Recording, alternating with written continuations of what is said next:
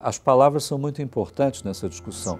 Quando apareceu a expressão responsabilidade fiscal, a discussão mudou, porque quando os economistas falavam em equilíbrio fiscal, ajuste fiscal, sempre era entendido como uma agenda meio negativa. Lá vem esses caras aí querer cortar, tributar, fazer coisas negativas. Responsabilidade fiscal, não. Ninguém é contra a responsabilidade fiscal. Ninguém pode ser contra ser responsável. O teto é parte dessa ideia.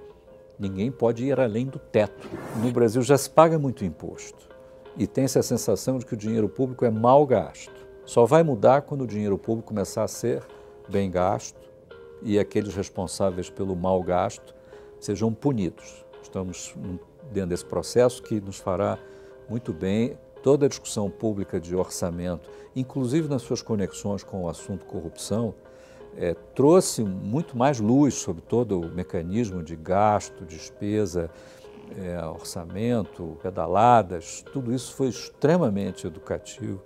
Eu acho que o teto está caindo num terreno fértil, porque todos foram preparados é, para essa discussão pelo processo de impedimento da presidente, que, de alguma maneira, bom, ela foi impedida de perder o seu cargo por irresponsabilidade fiscal, por violações à lei de responsabilidade. O orçamento é coisa séria, é o dinheiro do público, o dinheiro do povo. A inflação era uma forma de você tributar o ausente.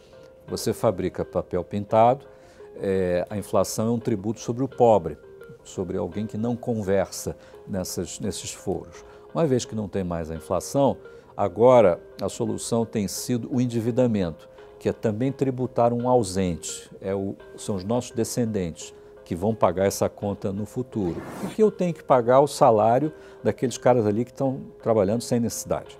Por que o privilégio? Por que se aposentar com 40 anos? Por que parlamentar se aposenta com 8 anos?